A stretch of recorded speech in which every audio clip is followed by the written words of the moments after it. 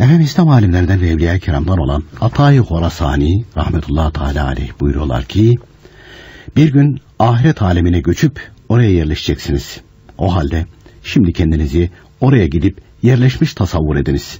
Zaten bütün insanların varacağı son durak da orasıdır buyuruyor Atay Horasani rahmetullahi teala aleyh.